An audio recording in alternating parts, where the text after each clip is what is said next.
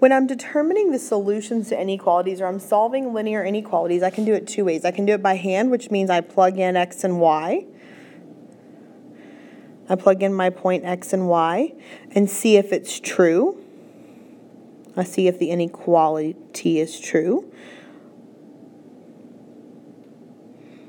Or I can do it by graphing, and if I'm graphing, I need to see are the points in the shaded area. That's the question I'm asking myself, is are the points in the shaded area or on the solid line.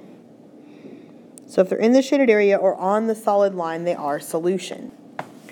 So is negative 2, 4 a solution? Well, I need to plug in stuff. I need to see what happens when if this works. So negative 2 is my x value, so I'm going to plug that in for x. And positive 4 is my y value, so I'm going to plug that in for y. So I'm going to rewrite this equation. So 3, and then instead of x, I'm going to write in a negative 2 plus y, and instead of y, I'm going to plug in 4, and I want to see is that greater than or equal to 5. So I need to work out the left side over here mathematically. So 3 times negative 2 is negative 6 plus 4. And I'm still trying to figure out if it's greater than or equal to 5. Negative 6 plus 4 is negative 2. Negative 2 it says it's my problem says negative 2 is greater than or equal to 5. Well, that is not true. Negative 2 is not greater than or equal to 5, so that tells us that negative 2, 4 is not a solution. That's what that tells us. Because this inequality was not true. So because negative 2, 5 was not true, that tells us that this ordered pair is not a solution. So now I want to know is 0, negative 5 a solution to y is less than 2x plus 3? Well, again, 0 is my x. I'm going to plug that in for x. Negative 5 is my y. I'm going to plug that in for negative 5. So I'm going to rewrite this so I have negative 5 is less than 2 times, instead of x, I'm going to put 0 plus 3. Well, I'm going to work the math out over here. So I have negative 5 on the left side is less than. 2 times 0 is 0 plus 3, and 0 plus 3 is 3. So I have to look at this inequality. Is negative 5 less than 3? Well, that is true. So since this is true, that tells us that 0, negative 5 is a solution tells us 0, negative 5 is a solution. So now I need to determine are these points solutions to this particular inequality. So if they're solutions, remember they're going to be in the shaded area or on the solid line. So as long as they're in the shaded area or on the line that's solid, we're good.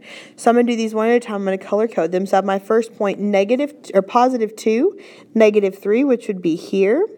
That is in the shaded area, so it is a solution. My next point is positive 4, 5, which would be here. That's this point. And it's in the shaded area, so it is also a solution.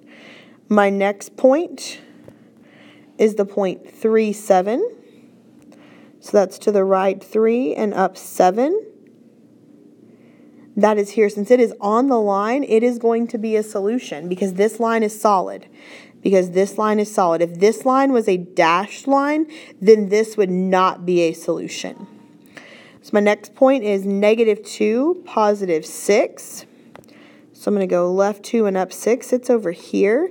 That point is not in the shaded area, so it is not a solution. Then I have the point negative 6, negative 8. So I'm going to go left 6 and down 8. That point is here. That point's in the shaded area, so it is a solution. I have the point 1, 9. So I'm going to go to the right 1 and up 9 That's here. That point is not in the shaded area, so it is not a solution. And then lastly, I have the point 0, 0, which is here at the origin. That point's in the shaded area, so it is a solution. So any point that is in this shaded area is a solution. And if our line is solid, then any point on the line is also a solution. So we want to know, are these points solutions to the inequality below? So are negative 2, 3, 0, 5, and 1, negative 6 solutions to the inequality? Negative 2x plus 4y is less than negative 8. In order to figure this out, I first need to solve this inequality for y, and I'm going to have to graph this. That's At least that's how I'm going to do it, because it did give me a graph for this. So to get y by itself, I need to get rid of the minus 2x, which means it's going to become a plus 2x on the right side. So that's gone from the left. And now I need to get rid of the 4 that is multiplied by y in front. So I'm going to divide both things on the right by 4. And that 4 is going to be gone. I get y is less than negative 8 divided by 4 is negative 2. 2 over 4, I cannot divide that, but it does reduce to 1 half x. Notice I did not change my inequality sign. That's because the number I divided by, the number in the denominator, was positive 4. So I want to leave that alone. So now I can identify my slope and my y-intercept. My b value, my y-intercept is by itself, and that is negative 2. And my slope is what's multiplied, it's my m, it's multiplied by x, so my m is positive 1 half. So directionally, I'm going to go up 1 and right 2. So I can graph my y-intercept, my beginning at negative 2. And my slope was 1 over 2, so I'm going to go up 1 and right 2 and up one and right two, and I can repeat that several times.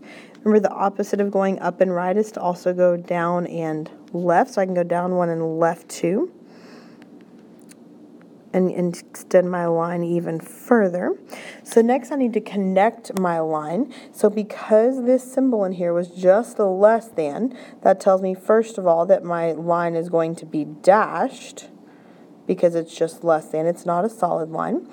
And the second thing that it tells me is that because it's less than I need to shade down, I need to shade everything that is below the line.